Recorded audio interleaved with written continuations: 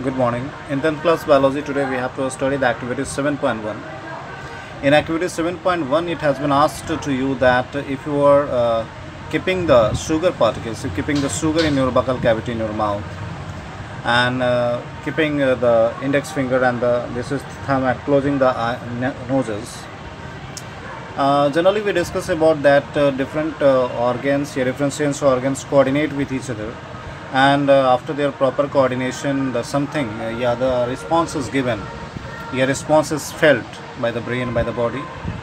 In this way uh, the similarly the condition is there when you are keeping the sugar particle in the mouth.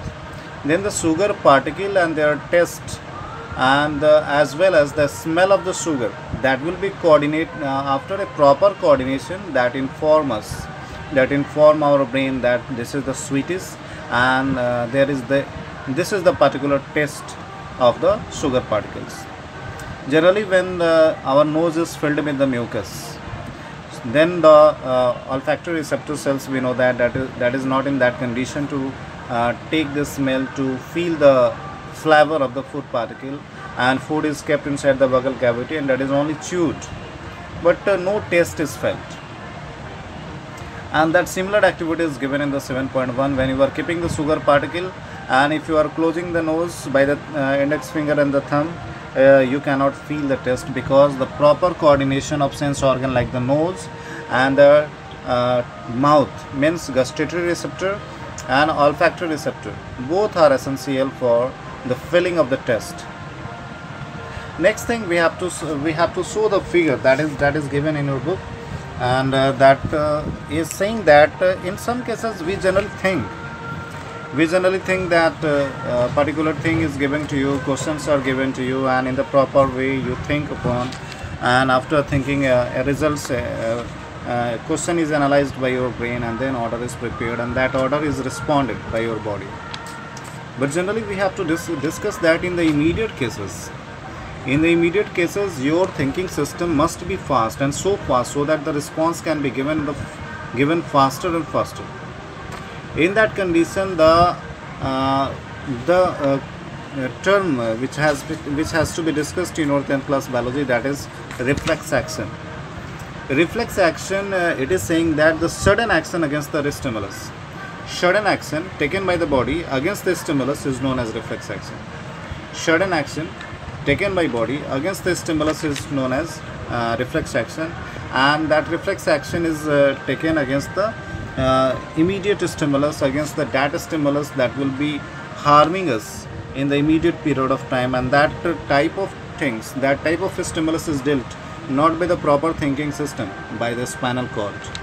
By the spinal cord. Because the spinal cord is found in the close proximity to the different parts of the body.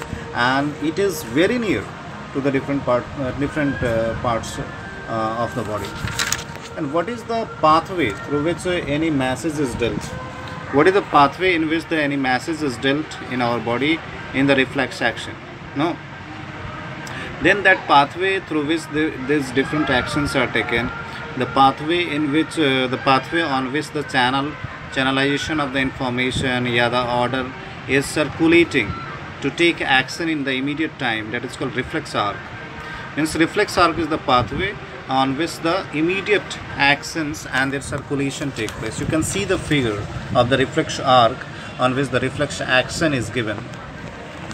You know that this is the one neuron and this is in the contact with the suppose this is in the contact with the skin. Suppose here is the skin. And if it is the skin means when the hot pot is coming in the contact with this skin and that dendrite is in the contact with this body then this stimulus will be filling. The chemical uh, change will happen at, the, at this point. An electrical impulse will be created and that electrical impulse will be circulating through the cyton and uh, that will be going to the axon. And uh, from the axon that will be coming to the that will be coming to the nerve ending. The chemicals will be facilitating the electronic impulse to run from the nerve ending to the dendrite of next neuron and this gap in which these chemicals are facilitating the channelization of previous electronic impulse to the next that is called synapse. And from this synapse now again the electrical impulse are carried and electrical impulse are going to the cyton again to the axon again to the nerve ending. And from nerve ending that will be going to the relay neuron. From relay neuron it will be going to the spinal cord. A spinal cord will be thinking immediately against the stimulus about the stimulus that will be prepared analyzing the information preparing the order and sending it through the relay neuron and by the motor neuron. An action is taken and uh, removal of hand is done. Removal of hand is done from that point. Thank you